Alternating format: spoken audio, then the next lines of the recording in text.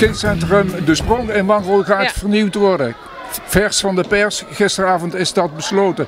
Dan zal ik aannemen dat directeur Celine Ploeger in ieder geval heel blij is. Ja, zeker. Heel erg blij. Ja, de kinderen zijn echt eh, toe aan een nieuwe school. Verdienen het ook. Ja. En, Waarom is dat zo belangrijk? Nou, als je eh, goed wil leren, dan moet je eh, gemotiveerd zijn, met plezier naar school kunnen komen. En eh, de kinderen hebben wel aangegeven dat ze zich op dit moment gewoon niet prettig voelen binnen het gebouw. Het is oud, het is koud, we kunnen niet goed ventileren. De omgeving is niet aantrekkelijk om te leren. En we doen ons uiterste best om dat nu natuurlijk wel vorm te geven. Want we kunnen echt een goed onderwijs bieden nu. Maar ze verdienen wel beter. Dus daarom zijn we wel heel blij. Als u zegt oud en koud, eh, dan hebben jullie al heel lang geleden aan de bel getrokken. Ja, zeker. Dit speelt al een aantal jaren. En eh, nou, we zijn nu heel blij met dit resultaat. Hoe zie je dat eh, nu verder? Want er komt natuurlijk wat, ja, wat ongemak bij kijken als het zover is. Ja, ja, dat zal vast. Maar ik denk dat het een heel mooi leerproces is voor de kinderen om hierin mee te gaan en hierover mee te denken. De, leerling, de leerlingraad van ons, die eh, worden ook ingelicht en die gaan ook meedenken hoe we het het beste voor de kinderen kunnen doen. Ja. Mooi dat jullie ook de leerlingen mee lieten denken. Eh, Ja. Dat was vruchtbaar. Zeker, ja, leerlingen hebben hele goede ideeën over wat ze nodig hebben om tot goed leren te komen. Ja. Eh, wat denk je dat vooral de, de eh, belangrijkste verbeteringen zullen? Een oud gebouw, een nieuw gebouw? ik denk bijvoorbeeld aan de digitale wereld. eh. Nou ja, ik denk vooral aan een rijke leeromgeving. Dat kinderen kunnen zien in het gebouw van dit ga ik leren, hier ben ik mee bezig. En een fijne huiselijke sfeer waarin ze zich fijn voelen en veilig voelen. Gaat Celine Ploeger nu aftellen? Ja, zeker. Ik heb er heel veel zin in. Ja. Wethouder uh, Rob Poel met eh, onderwijs in de portefeuille. Eh, het is eigenlijk wel een heugelijke morgen na gisteravond toen in de, de gemeenteraad besloten is dat het allemaal door kan gaan zoals het eh, de bedoeling was. Ja, zeker. Hier eh, staat er ook een trotse wethouder.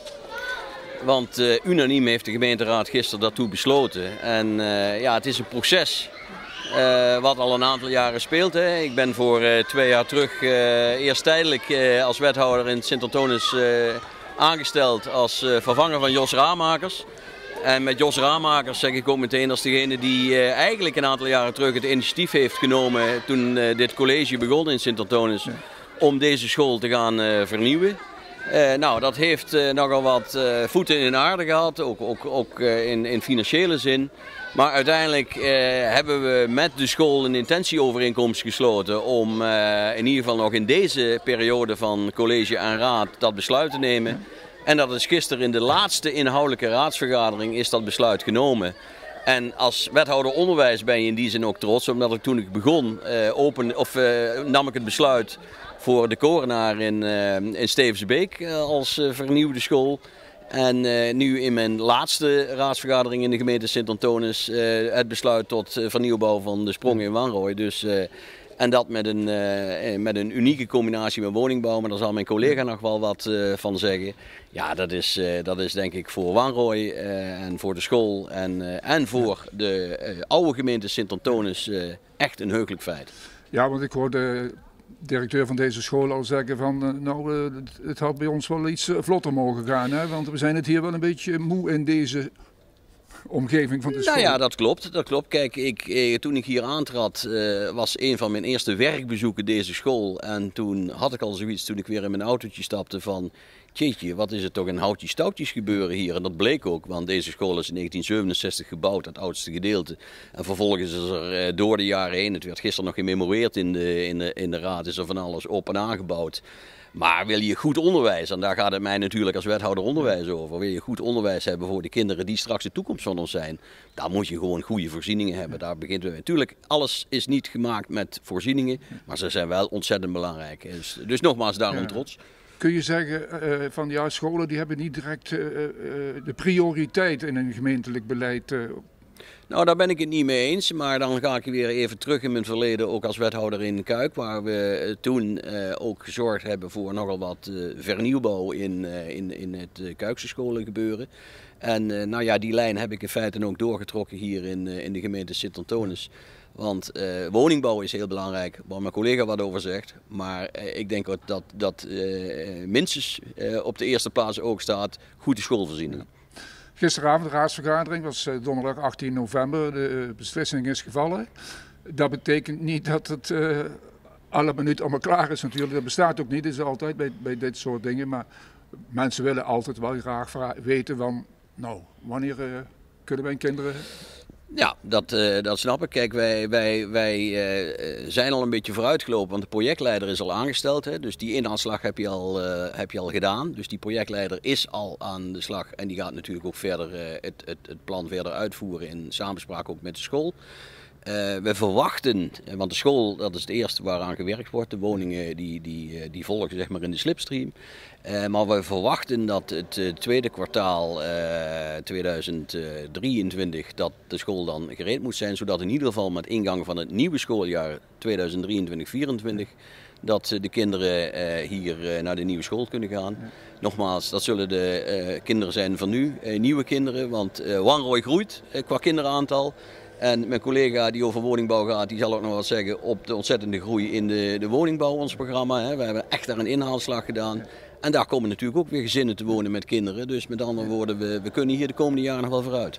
Ik bij u wel een zekere opluchting van, nou, het heeft even geduurd, maar nou ja, kijk, het is altijd gewoon heel prettig eh, om, om, om, als je ergens aan begint en je hebt de wil om dat ook te realiseren. En die wil die had ik. En niet alleen ik, maar ook het, eh, ook het hele college. En natuurlijk zijn er nogal wat gesprekken overheen gegaan. Natuurlijk moest je mensen overtuigen. Natuurlijk moest je je organisatie ermee krijgen. Er is hard gewerkt, ook door de mensen zeg maar, in de organisatie, om dit voor elkaar te krijgen. Maar nogmaals, het is een uniek project van nieuwbouwschool met eh, woningbouw. Volgens mij is het nog niet ergens anders eh, gerealiseerd. In ieder geval, wij doen het hier nu in Landverkuik. En Sint-Antonis, eh, ik zeg het nogmaals, we zijn een voorbeeld op meerdere beleidsterreinen voor de gemeente Landverkuik. En dit is ook weer een voorbeeld. En je niet alleen opgelucht, maar nogmaals, ik heb het al een paar keer gezegd, geloof dan ben je gewoon trots als wethouder. Wethouder Wouter Bolle van ruimtelijke ordening in de portefeuille kindcentrum De Sprong gaat er komen. Maar er zit nog iets meer aan vast, hè? opmerkelijk.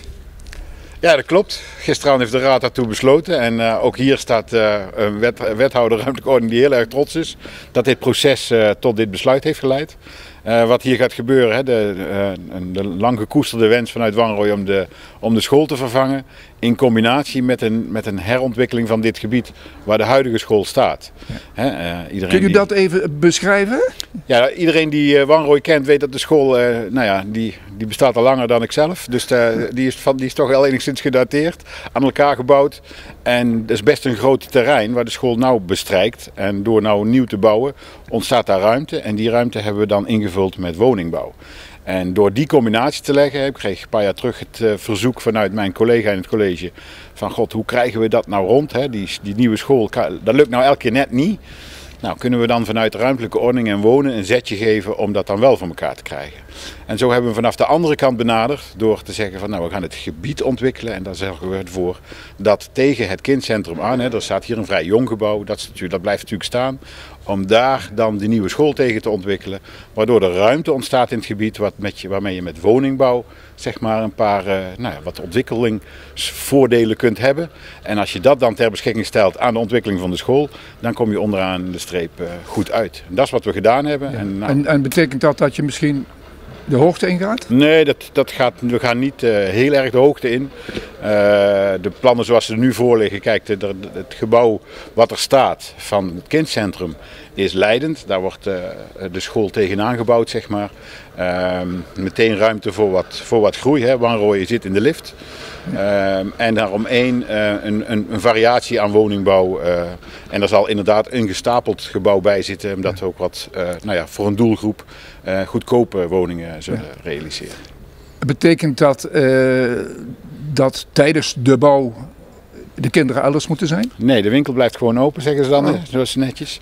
Ik gaf net al aan, het is een vrij uitgestrekt gebied waarop de school staat. Dat geeft ook wel de ruimte, zo'n herorganisatie binnen de school. Maar dat laat ik graag aan de directie over hoe dat ze dat aanpakken. Het is mij verteld dat dat kan. Dat er, uh, en voor de bouw uh, in het begin is maar een klein deel sloop nodig. Uh, om dat te kunnen realiseren. Dus dat betekent dat er eigenlijk uh, gewoon de school in, in werking kan blijven en dat er aan de andere kant ehm, dan gebouwd gaat worden. Heeft uiteraard wel gevolgen voor het speelterrein en zo, dat, dat, dat denk ik wel in de praktijk. Maar in principe kan de school gewoon doorgaan, dus dat is ook een voordeel. Ja, maar je hebt aan de ene kant dus de ontwikkeling van het kindcentrum, aan de andere kant, daar komen we toch weer op terug. Op het, komen we vaak terug in de gesprekken met gemeentelijke bestuurders. de nieuwbouw, de, de, de huizen die dan hier gepland worden. Uh, hoe moeten we dat zien? Uh... Ja, uh, dus niet onbekend dat Sint-Antonis een stevige ambitie heeft op het gebied van woningbouw. gisteravond door de gemeenteraad is ook een plan in Oplo goedgekeurd. Dus daar verrijzen ook ongeveer 90 woningen binnen nu en afzienbare tijd. Maar Wanrooy zit ook enorm in de lift. Het plan De Roting, 42 woningen, die, die, die zijn van de week in aanbouw gegaan. Hè, dat staat alles klaar. Ehm, er is een, een, een plan van zes woningen pas goedgekeurd. Uh, we hebben, ik heb gisteren een overeenkomst getekend voor, uh, voor meer dan 60 woningen op het Korenveld, hè, de oude Boerenbondterrein. Ja. En hier gaan we ook uh, richting de 30 woningen ongeveer. Er kunnen er 25 zijn en er kunnen er 40 worden. Dat, dat moet allemaal uitgewerkt worden. Maar iets in die richting. Dus Wanrooy ja, heeft voorlopig heel wat aanbod om te kunnen groeien. En wij zien die tendens ook. En daar ja, zijn we eigenlijk alleen maar heel blij mee. En dat geeft ook wel weer basis voor, voor het behoud van deze school en een extra reden om dat te doen. En het dorp Wanrooy is er ook blij mee, neem ik aan. En de ouders zijn blij met de school en de kinderen die nog mee, gaan maken. Die, die, ja, zijn ik, ook allemaal... Uh... We, hebben, we hebben dit proces zo goed uh, en zo kwaad mogelijk uh, en zo snel mogelijk gedaan. En toch, toch kost dat tijd. He, we hadden het liever eerder in onze, nou, zoals wij dat noemen, de regeerperiode gedaan. Ja. Uh, maar we zijn heel blij dat het alsnog gelukt is. Want dit, dit verdient Wanrooy en het, en, het, en het gaat dus nu ook echt gebeuren. Dit is een onomkeerbaar besluit. De centjes zijn nu klaar, het plan ligt eronder. Uh, mijn collega gaf het al aan, we hebben een projectleider al aangesteld. Uh, die dat ook, want we gaan dadelijk natuurlijk naar de nieuwe gemeente toe. Uh, die blijft dat doen. Die, die, is nu voor ons aan de gang en die blijft dadelijk voor het land van Kuik uh, dit project begeleiden tot het einde. Um, waardoor die continuïteit gewoon gewaarborgd is. Dit gaat gewoon gebeuren. Zit daar een beetje achter van, nou 1 januari komt eraan, dan is het uh, gemeenteland van Kuik. We moeten dit nog eventjes klaar hebben. Nee, het is, kijk, het is wel een, een, een gekoesterde wens van Wanrooy, van de school, van de bevolking en uiteindelijk ook van het bestuur van, van Sint-Antonis. Dus ook bij de gemeenteraad, gisteravond kon je dat ook wel horen, dat er heel veel animo was om dit voor elkaar te krijgen. Um, en zolang wij zelfstandig zijn, is dat natuurlijk wel het makkelijkste om daar met de juiste reden een besluit in te nemen. Daarbij zijn we hier echt ook al jaren mee bezig. Hè. De, de, um, de, schoolstichting is intussen zelf uh, van, van naam veranderd. Uh, en, hè, dus er in de tussentijd, de, de, de, de, boel gaat maar door, de tijd tikt door. Wij veranderen, de school is intussen al veranderd. Nee, nu hebben we gewoon een spijker op erin geslagen en we gaan het gewoon doen. Dankjewel.